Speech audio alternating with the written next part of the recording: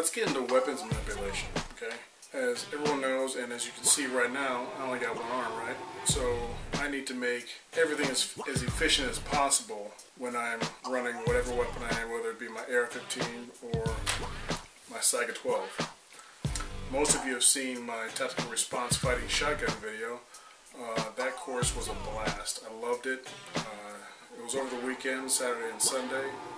Can't say anything bad about Tactical Response. Uh, their cadre, the instructors, they're they're very professional, but they're very approachable. First off, I knew I couldn't go there with a pump action shotgun. Uh, after I lost my arm, I actually traded my Mossberg 500 at a gun show for this Saiga 12.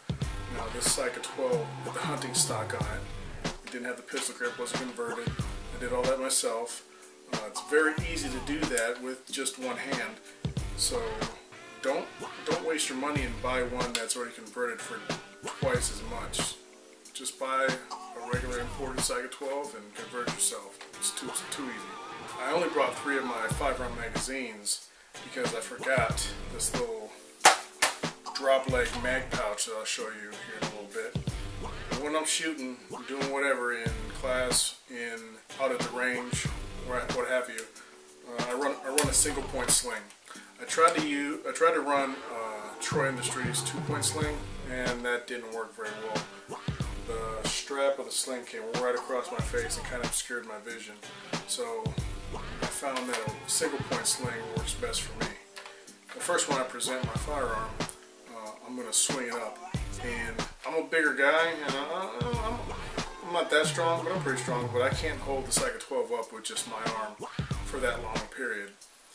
Uh, so what I do is I also use my cheek, kind of like fulcrum action, right? Bring it up, put my cheek on the cheek rest. That gives me perfect alignment for the sights. So I'm pushing up with my hand and I'm pushing down with my cheek to keep it level. Now, as you can see, I got the plastic muzzle brake on there. As of the time of this video, I haven't shot the plastic muzzle brake yet, but that's how I hold the, the shotgun up. It's pretty easy. Bang, bang, click, out of ammo got to reload. Show it to you from the other side. Okay, just like that. Now the AK safety is a lot different than the AR-15. The AR-15 is, is, you know, is a lot, it's a lot more ergonomic than the AK-47, especially with one hand. I chose to get the the Krebs safety here. It's made for an unmodified Saiga 12, so that you can manipulate the safety with your trigger finger while still having that sporter that sporter hunting stock on there. With the pistol pistol grip, this safety starts to look like a little thumb safety. Down safe, up fire. It's kind of like the opposite of what you would think. You'd think that'd be fire, then that's safe. But once you get used to it, it's okay. The weapon's on safe. Bring it up. It's ready to fire, just like that. Too easy.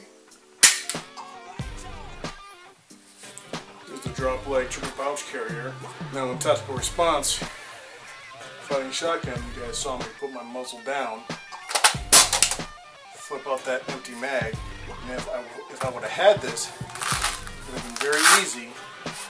Come over, get your next mag, rack it,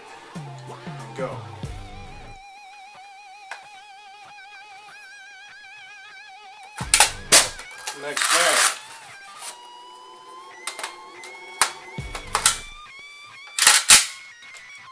Go.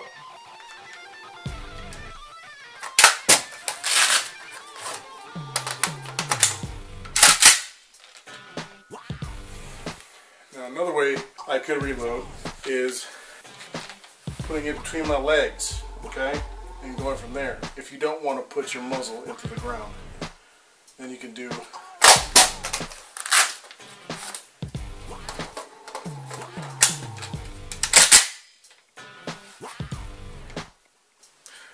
Another way I manipulate my Saiga 12 is I had my bolt sent off to uh, Pauly Steel and Custom Fabrication. I had him polish up my bolt and add a left-hand charging handle. Right there.